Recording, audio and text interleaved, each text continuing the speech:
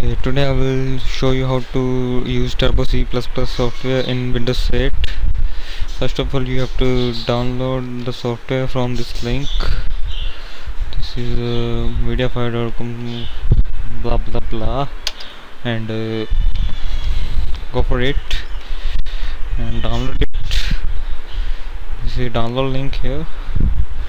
And uh, after the download link is also available on the bottom side of this youtube video. And now after downloading you will see like this zip file turbo c++ soft.zip and uh, extract this file in c drive like this. Turbo c, c and uh, the file is extracting for C drive and uh, C plus dot dot C box dot exe. Open it.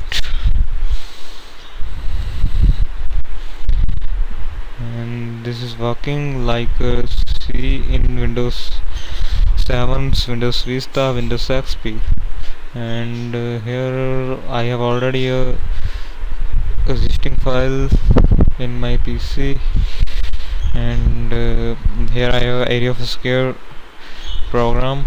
This is area of scare program. I will compile it.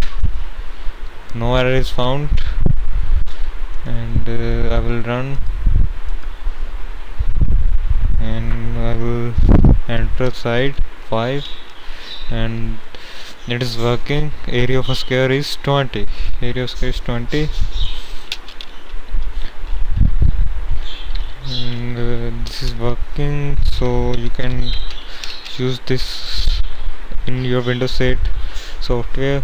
And you may download this software from the uh, download link inside this YouTube video or any other queries you may contact with me. And please comment here.